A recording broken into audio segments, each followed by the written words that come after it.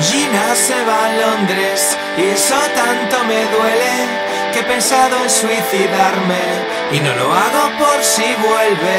Me despierto por las noches, lloro algunas veces, me invento mil canciones pero no la convence.